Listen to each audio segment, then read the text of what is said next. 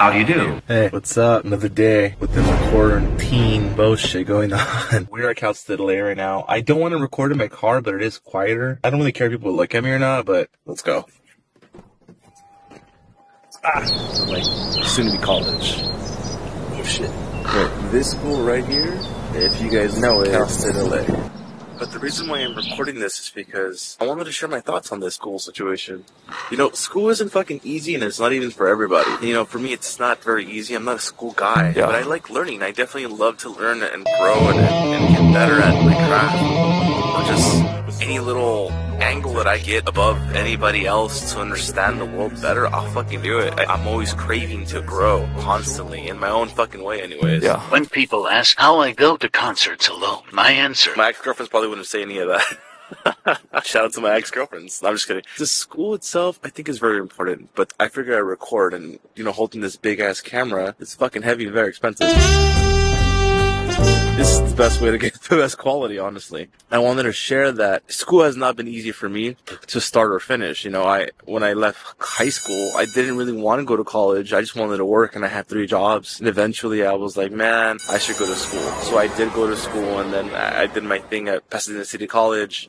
Uh, for a while, and then slowly but surely, I just fucking hated going to school. I got all bad grades, and then this, and then fast forward, the school didn't want to keep me there because my GPA was so damn low. Yeah, believe it or not, it was fucking. It was like a 1.5. It was terrible. Yeah. I just wasn't interested in school. I just was there. I, I failed miserably. I didn't care. I, I was more worried about making money because I'm in. I live in LA. You know, you worry about your money. You know. Yeah.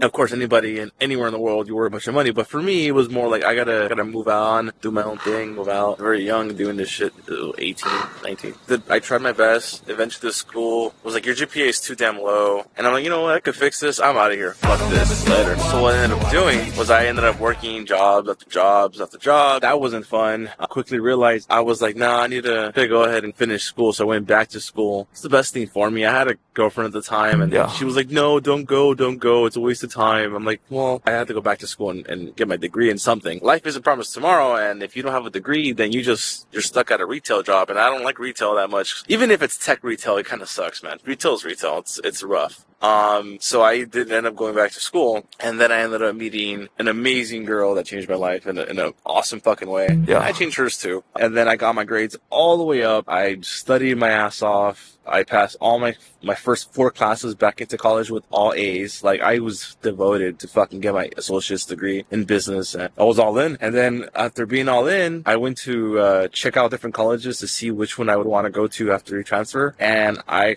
fell in love with USC. Yes, USC is such a great fucking school. However, I live like two minutes from this damn school. Uh, uh, USC is way the fuck down and it's harder to get into and it's super expensive. This is gonna be a lot less. I need to keep moving forward. I gotta get my bachelor's degree. That's what I, I want to get. You can never stop improving yourself. That's the thing. That's the craft. I think this would be good for me also. This fucking thing wasn't easy to fucking get to, honestly. I tried my fucking best to get good grades. And then even then trying to come to this school, it was a fucking heartache. Like it was so fucking stupid. You know, I applied to SF State, Cal State Fullerton, Cal State LA in 20, fall of 2018.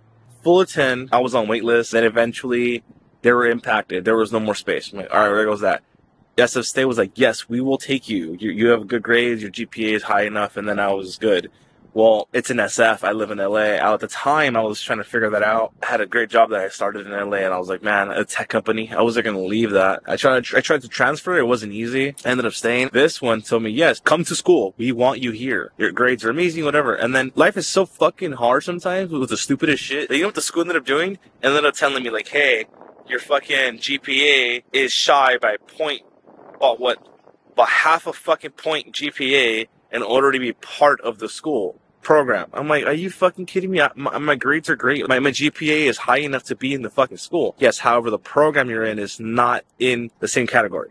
So you need to pick that shit up. I'm like, are you fucking kidding me? I have to go back to fucking junior college to finish? Whatever. I'll fucking do it. I'll get a fucking out, get two fucking A's. I'll take two classes. You want fuck around? Let's do it. I'll, and that's what I did. I ended up going back to my junior college, took two fucking classes, got two fucking A's. Okay. Yeah. What do you want to do? I come back. I had to wait till fucking fall 2019. I come back and they're like, oh, your, your classes are unposted. I'm like, yes, they are. Like, what the fuck? It's been such a fucking headache. And that's the thing, right? Like, you have two options. You give up, one, or number two, you fucking fight. I'm a fighter till I fucking die. So I'm gonna win. Yeah. One way or another, I'm gonna keep fucking fighting. Cause I'm not gonna let you win. I know what I need for me. You Yeah. don't give a fuck. So I need to do my part and I'm going to win. That's just the difference. Like that's not going to stop for me. What I ended up doing was like, I'm, I petitioned it like, Hey, I finished all my classes. I did everything that was necessary to fucking do. I'm here right now. I have my fucking money. Yeah. I have my grades. My teachers are like, like, what do you do? What's happening? And then let me fix this. There you go. Was that I ended up getting A's, sending my transcripts to them as fast as I could. And then they said, Hey, you know what? Unfortunately, we're impacted now. We don't have any more space for students. I'm like, how the fuck are you gonna tell me to go to fucking school again, get good grades, pick up my GPA, and then oh you'll come right back, and then you say, hey, we don't have space. Like, get the fuck out of here with that bullshit. I'm not. I'm so fucking stupid. Like, you're not gonna tell me that shit. Yeah. Fuck you. That's a lot of fucking time, and you want me to go to school till 2021? Are you on fucking crack? Fuck. Do you know who I am? I'm fucking Yeah. Jack Dom. I'm not gonna stop.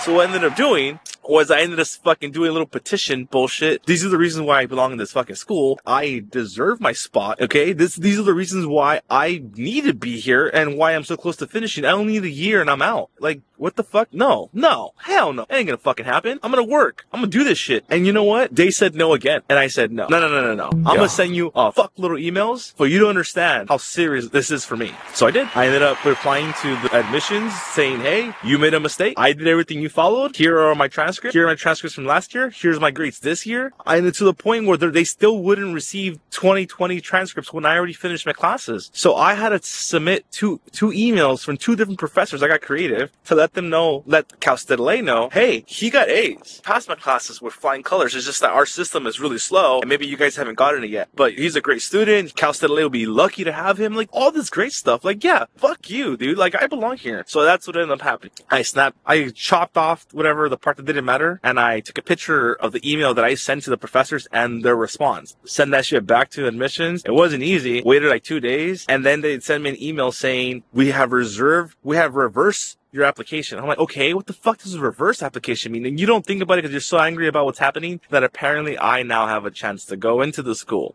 And that's where I'm at. And then, then I told them, I, as soon as I get the transcripts, I'll send it to you. And then I get the email saying, hey, welcome to Cal State. Get ready for orientation. Motherfucker. That's fucking right. And I wanted to share that story because if I would have given up and I would have been like, hey, fuck everything, like this is a waste of time. Like I can just go make money and not worry. It's the principle. You can't give up. Yeah. That's what's important. I, if I would have give up, they would have been like, okay, who gives a fuck? But this is important to me. And that's why I do all this shit.